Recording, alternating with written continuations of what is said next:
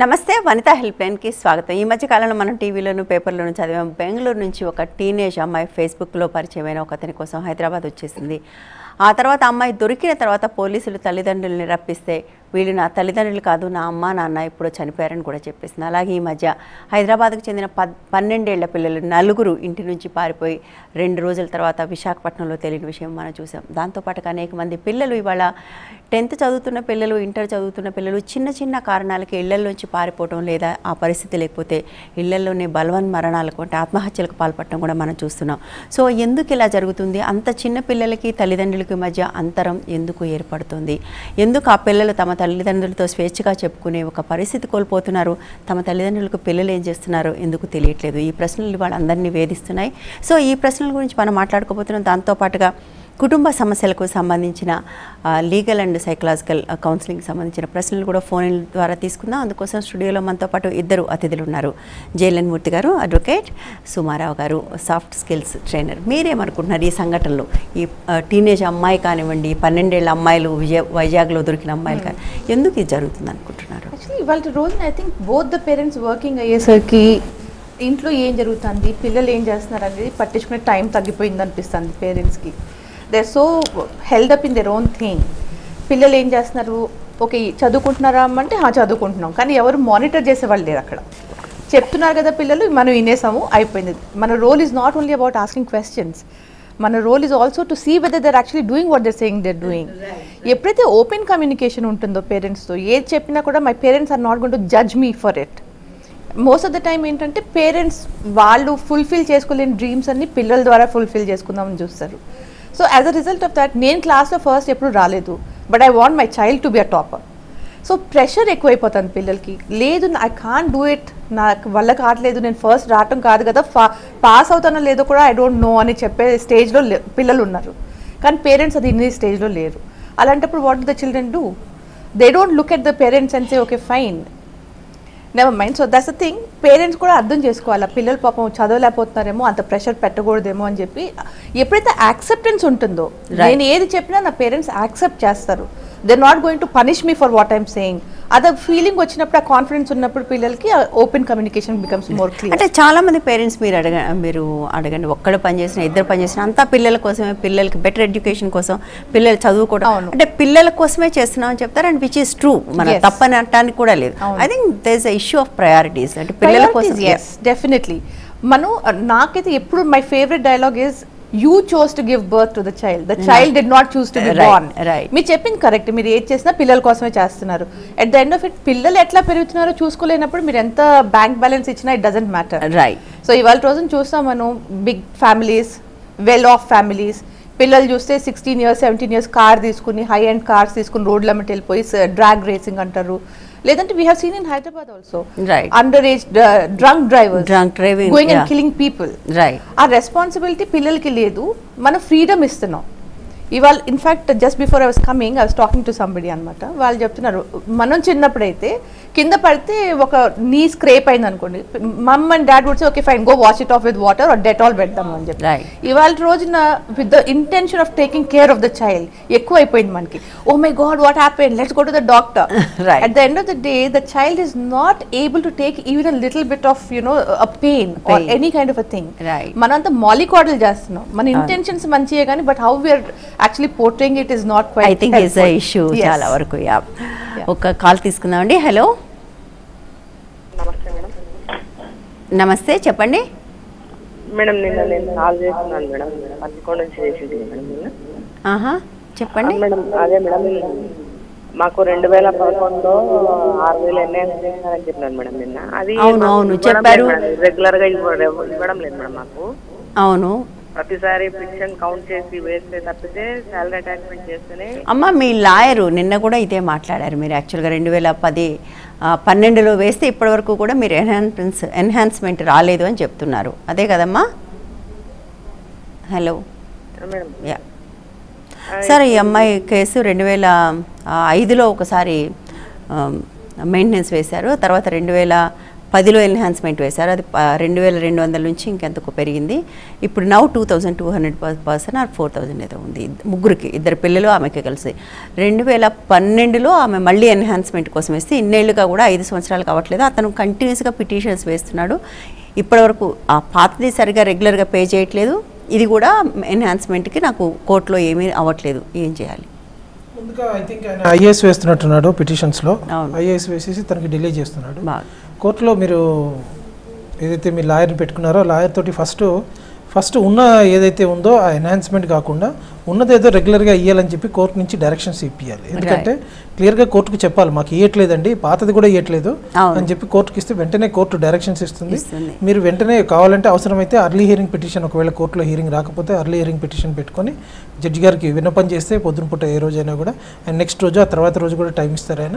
ఎందుకంటే ఇట్లాంటి ఫ్యామిలీ విషయాల్లో చాలా సెన్సిటివ్ ఉంటారు జడ్జి వాళ్ళు అట్లా ఏమండి? సెన్సిటివిటీ ఎంత ఉంటుందో నాకు అర్థం కాదు. ఎంత ఐఏఎస్లో వేసినా కూడా ఒక కేసు ట్రయల్ అయిపోయింది. ఒక అతను గవర్నమెంట్ ఉద్యోగం చేస్తాడు actually. Is going to retire this month మేలో రిటైర్ అవుతున్నారు అందుకని అమ్మాయి టెన్షన్ కూడా పడుతున్నారు. మేలో రిటైర్ అవుతున్నారు. ఆయన హీస్ కైండ్ ఆఫ్ ఇర్రెస్పాన్సిబుల్ మళ్ళీ ఏం పెళ్ళి చేసుకోలేదు బట్ ఇర్రెస్పాన్సిబుల్గా ఉన్నాడు. ఐదేళ్ళుగా ఐఎస్లు వేస్తూ ఉంటే why would any court accept it in the first place that is the issue ఎందుకు యాక్సెప్ట్ చేయాలి? అంటే ట్రయల్ అయిపోయి అంతా అయిపోయిన తర్వాత ఎన్హాన్స్మెంట్ అడిగినప్పుడు అంటే గవర్నమెంట్ ఉద్యోగులకు మన అందరికీ తెలుసు ఈ ఫైవ్ ఇయర్స్లో ఆమె రెండు వేల పన్నెండు ఏమడిగిందో దానికి డబుల్ అయిపోయి ఉంటుంది మనకు తెలుసు. గవర్నమెంట్ జాబ్లో ఎంత శాలరీస్ పెరిగాయి లాస్ట్ ఫైవ్ ఇయర్స్లో రెండు గవర్నమెంట్స్ పోటీలు పడి పెంచాయి మనందరికీ తెలుసు actually and still why is it అంటే ఎందుకు కొన్ని పర్యవేక్షణలో వాళ్ళ అడ్వకేట్ దగ్గర నుంచి కొంచెం స్పీడప్ అవ్వాలి. దాన్ని వాదించి కోర్టు ముందు ప్రజెంట్ చేయడం అనేది చాలా ఇంపార్టెంట్ ప్రజెంట్ చేసి తప్పకుండా తనకు అన్యాయం జరిగితే మాత్రం ఇమీడియట్గా కోర్టు వారు దానికి ఆన్సర్ ఇస్తారు. ఎందుకంటే మీరు అన్నట్టు జడ్జిలు చాలా సెన్సిటివ్గా ఉంటారు ఫ్యామిలీ ఇష్యూస్లో నేను చాలా రెగ్యులర్గా మీట్ అవుతుంటాను Right. అందరినీ.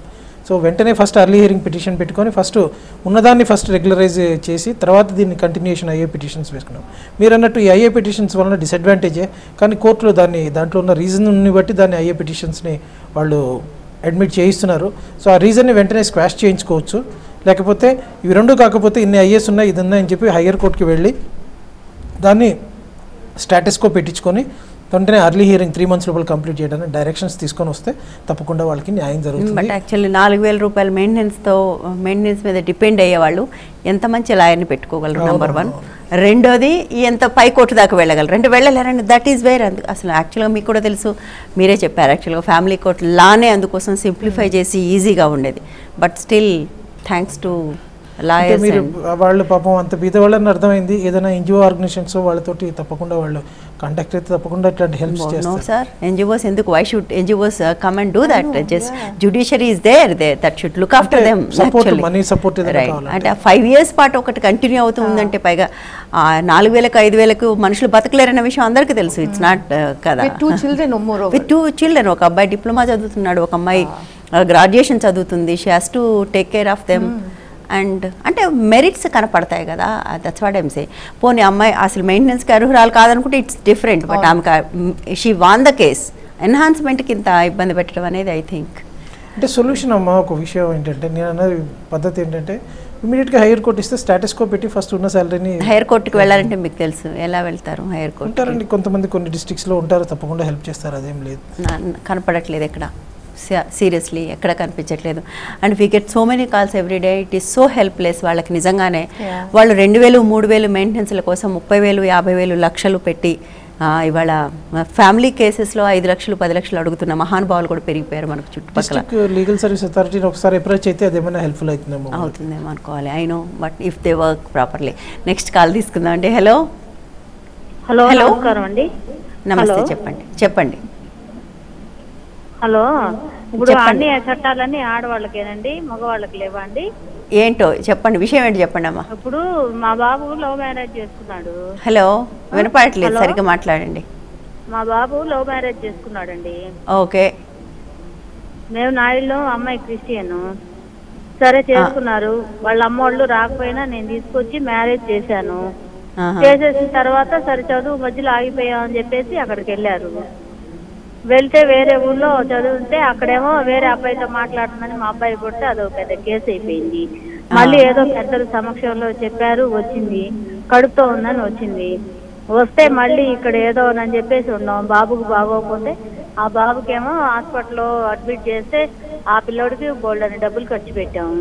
పిల్లోడికి సరిగ్గా మందులు వేయలేదని పిల్లోడు రెండు దెబ్బలు వేసినందుకు వెళ్ళిపోయి కేసు పెట్టి మా మీద four ninety eight four ninety five మేము ఒక వరకట్నం అని అదని ఏదో చెప్పేసింది. ఇప్పుడు కాపురానికి రాలేదు. మూడు నెలలు నాలుగు నెలలు అవుతుంది మేము నోటీస్ పంపించాము. అయినా కానేమో ఆ టైం ఊళ్ళ మీద పడి తిరుగుతుంది. మరి అట్లాంటి వాళ్ళకి ఏం శిక్షలు అండి చెప్పండి. ఒక మాట చెప్పమంటారా? ఇప్పుడు అంటే మీరు ఒక తల్లిగా మీరు మీ ఒక వర్షన్ మాకు కనిపిస్తుంది బట్ మీకు మీరు చెప్తుంటేనే నాకు ఇంకో వర్షన్ కనపడుతుంది ఇందులో. వాళ్ళిద్దరూ ప్రేమించి పెళ్ళి చేసుకున్నారంటున్నారు. నిజంగా అది ఎంత గొప్ప ప్రేమ మరి.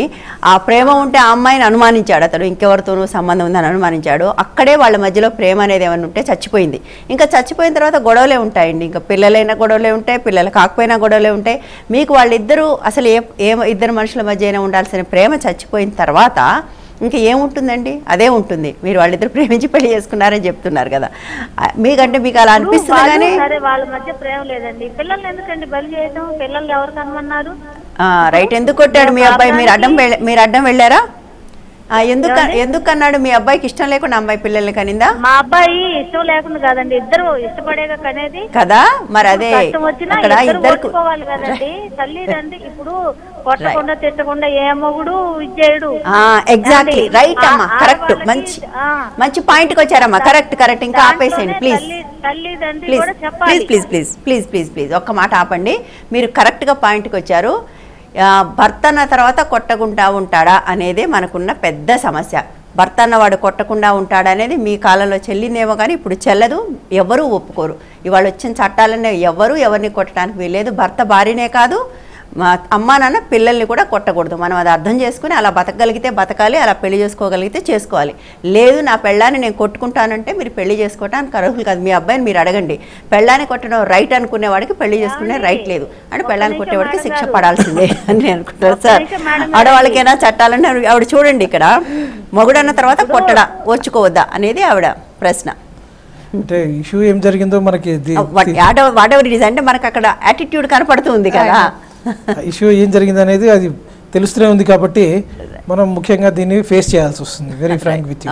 ఇక మరీ అంత కాంప్రమైజ్ అవ్వాలనుకుంటే మీడియేషన్ పెట్టుకొని దాన్ని సెక్షన్ ఎయిటీ ఫైవ్ మీద పెద్దల కోర్టు ద్వారా దాన్ని చేసుకుంటే వాళ్ళు అట్లీస్ట్ రేపు పొద్దున ఆ అమ్మాయికి ఒక నచ్చ చెప్పి బాబు ఇది ఈ నీకు రేపు పొద్దున ఇది కాకుండా చేస్తారని జడ్జిమెంట్లో రాసి అదంతా చేసుకుంటే మీడియేషన్ ప్రాసెస్ చేసుకుంటే వాళ్ళిద్దరు మళ్ళీ కలిసి ఉండాల్సిన అవకాశం ఉంటుంది. అది ఆ అమ్మాయి చేయాల్సిన అవసరం లేదు మీడియేషన్ వీళ్ళు కూడా అడగటానికి అవకాశం ఉంది. రైట్ సోమ గారు do want to say something actually just thinking about the rewind చేసుకుంటే ఆ అమ్మాయి కేస్ పెట్టింది. And she says something very interesting I don't know whether you guys observe వీళ్ళు నాయుడూస్ అంట ఆ పిల్ల బీసీ అంట. Which means atrocities and whatever whatever lot of things would have happened lot of things. చిన్న చూపు ముందే అమ్మాయి మీద. పైగా ఇప్పుడు ఊరి మీద తిరుగుతుంది. అంటే ఆల్ ఎలిగేషన్స్ యాక్చువల్లీ అమ్మాయి ఎవరితో I don't think it's worth it to even ask to come back right ఇప్పుడే ఇట్లా ఉంటే ఇంకా ముందు ముందు till become worse and worse and she thinks husband has the right right to hit her I know so I think ఇంత కాంప్లికేటెడ్కి if I were that girl I would definitely not want to go back right of course and we will not suggest anyone to go. Back right. అది is um- not good for me cannot be good for somebody else. Yeah right మీరు అంటున్నారంటే నేను ఓర్చుకున్న బహుశా మీ భర్త మిమ్మల్ని కొడితే మీరు ఓర్చుకున్నారేమో కానీ వాళ్ళు ఓర్చుకోమని చెప్పడానికి మీకు ఛాన్స్ లేదు. రేపు మీ అమ్మాయికి మీరు చెప్పకండి ఆ మాట. మీ కోడల్ని అడగండి ఓర్చుకోమని. I think that's not the fair thing అండి. ఎవరు ఎవరిని కొట్టకూడదు. భార్యల భర్తలనే కాదు అమ్మా నాన్నల పిల్లలు కూడా కొట్టకూడదని మేము చెప్తున్నాం. ఆ ఆ పని చేయడానికి ఇష్టం లేకపోతే పెళ్ళిళ్ళు చేసుకోకండి పిల్లలు కనకండి. ఇతరుల మీద హింస ఎవరికి హక్కు కాదు. ఈ దేశంలోనే కాదు ప్రపంచంలో ఎక్కడా హక్కు కాదు. వాళ్ళకి శిక్ష పడాల్సిందే. అందులో సందేహమే లేదు. పడకపోవడమే మనకున్న దురదృష్టం. యాక్చువల్గా పడుతూ ఉంటే ఇంతమంది కొట్టే వాళ్ళు ఉండరేమని నేను అనుకుంటున్నాను యాక్చువల్లీ. నెక్స్ట్ కాల్ తీసుకుందాం. Hello? Hello? Hello? Right call పోయింది యా యాక్చువల్లీ సుమా గారు from the this thing we're coming back to the distance between parents and children I think. There is lot of distance everywhere ఈ. Calls అవును. చూస్తుంటే కూడా అంటే socio economic status కానీ లేదంటే educational qualification కానీ it's nothing is coming in the way everybody thinking in the same way Right. అదొక్కడే మంది I think the basic thinking itself is wrong మనం ఎన్ని లాస్ క్రియేట్ చేసినా ఇప్పుడు ఎన్నిసార్లు లాయర్ గారు ఇది చేయండి అది చేయండి అని చెప్పినా కూడా మనకి ఇంటెన్షన్ లేనప్పుడు this nothing that can be done right and ఎప్పుడైతే మనం my son is always right the other girl is always wrong ఆ థాట్ ప్రాసెస్ నుంచి బయటకు వచ్చే వరకు కూడా మనం అంటే సబ్జెక్టివ్గా we can not go ahead and do anything we need to be objective అది లేని రోజున ఏది కూడా సమస్యలు తీరు అంత తొందరగా. రైట్ యా అండ్ ఇంతకుముందు మీరు ఒక మాట అన్నారు కదా నేను నా we're we're passing on the baggage yes అబ్సల్యూట్గా right మన అంటే we're creating role models Right, ఇప్పుడు. ఈ కాల్ చూడండి మీరు. He might have seen his father hitting his mother right mother ఏమీ అనలేదు. నా వైఫ్ ఏంటి ఇప్పుడు కొత్తగా కేసులు పెడతాను. కొట్టావు ఎందుకు అని అడుగుతుంది? సో పేరెంట్స్ ఏదైతే చేస్తున్నారో అది పిల్లలు రోల్ మోడల్స్గా తీసుకుంటారు. మనం I రోల్ మోడల్ అనగానే ఏ గాంధీ గారా సుభాష్ చంద్రబోస్ అనుకుంటాం కానీ బట్ ఇంట్లో every single moment the parents are the role right I think lawyer గారు చెప్తారు మీకు చాలాసార్లు కాంప్రమైజ్కి వచ్చినప్పుడు కూడా అబ్బాయిలు చెప్తుంటారు మా నాన్న మా అమ్మని ఎట్లా కొట్టేవాడు? ఒక్క మాట మాట్లాడేది కదా ఈమె ఒక్క దెబ్బ వేయగానే కేసు పెట్టింది అని. అవునా కదండి don't you think so don't they say చాలా మంది చెప్తుంటారు వచ్చి మా అమ్మ మా నాన్నని ఎంత కొట్టేవాడు? ఒక్క మాట మాట్లాడేది కదా. ఈమె చూడండి ఒక్క దెబ్బ వేయగానే కోర్టుకు వచ్చింది. I think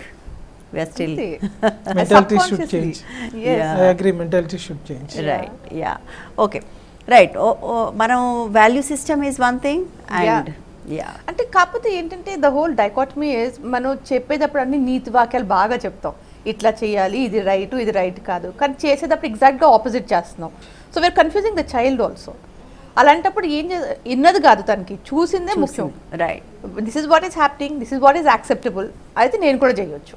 right yeah so అంటే ఒకటి ఇంతకుముందు మాట్లాడుకున్నాం. పిల్లల్లో వాళ్ళని వాళ్ళు హింసించుకోవటం చచ్చిపోవటం ఇవన్నీ చూస్తున్నాం. And at the same time పిల్లలు వైలెంట్గా తయారవటం. అంటే ఇప్పుడు. ఇదే ఈ కేసులోనే చూడండి. And that kind of behaviour is accepted at home that's the sad part right so and that boy is thinking it's okay it's all right not it's all right it's legitimate it is justified absolutely it's my right to be hitting her right right లోపల ఉన్న frustration అంతా నా wife is my punching bag right yeah okay. So what you think sir మీరే అనుకుంటున్నారు దీనికి సంబంధించి? Sir no comments no comments you don't want to comment why sir అంటే ముఖ్యంగా ఇట్లాంటి విషయాల్లో ఏంటంటే మెంటాలిటీస్ మెయిన్గా చేంజ్ అవ్వాలి. అదే కాకుండా ఇప్పుడు ఇవాళ రేపు స్త్రీలు కూడా వాళ్ళు బాగా చదువుకుంటున్నారు. రెస్పెక్ట్ ఇవ్వటం నేర్చుకోవాలి. అదేవిధంగా రెట్రాస్పెక్టివ్గా మగవాళ్ళు కూడా దాన్ని ఎక్స్పెక్ట్ చేయాలి. ఎందుకంటే మీరు అన్నట్టు ఇందాక పేరెంట్స్ ఇద్దరు పని చేస్తున్నారు టైం స్పెండ్ చేయలేకపోతున్నారు. ఇవన్నీ ఈ ఫ్రస్ట్రేషన్స్ అన్నీ వస్తూ ఉంటాయి. అదేవిధంగా భార్యాభర్తలు కూడా ఇద్దరు ఒకటికొకటి ఇష్యూస్ని అర్థం చేసుకుంటూ కలిసిమెలిసిపోతూ ఉండాలి. సో ఒక్కొక్కసారి కొన్ని విషయాల్లో వాళ్ళు పని చేయొచ్చు ఒక వాళ్ళు లేడీస్ పని చేయొచ్చు జెంట్స్ పని చేయొచ్చు. సో వాళ్ళు వాళ్ళ మన ఫోర్ ఫాదర్స్ మెంటాలిటీస్ తోటి వాళ్ళు ఒక విధంగా మీరు అన్నట్టు హిట్ చేయడానికి అవన్నీ జరుగుతున్నాయి. కానీ ఇవన్నీ అవాయిడ్ చేయాలి. ఎందుకంటే అవాయిడ్ చేస్తూ పోతేనే అర్థం చేసుకునే మనస్తత్వం ఎక్కువ ఉండాలి? అదేవిధంగా కొంచెం ఇరిటేటింగ్ క్యారెక్టర్స్ అట్లాంటివి ఉండకూడదు. సో ఇట్లాంటివన్నీ ముఖ్యమైన ఇంపార్టెంట్ ఇవి. సో కోర్టుకు వెళ్ళాలంటే అమ్మాయి అయినా వెళ్ళొచ్చు అబ్బాయి అయినా వెళ్ళొచ్చు.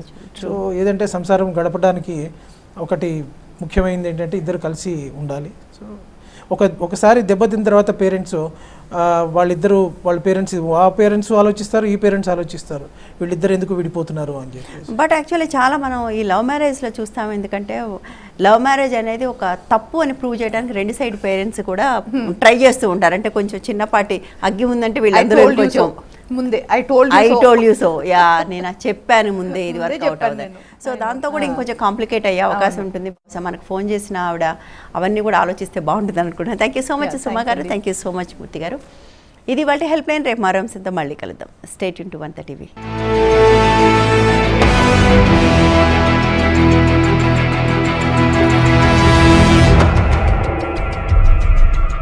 సమస్యల్లో ఉన్న మహిళలు సంప్రదించాల్సిన చిరునామా.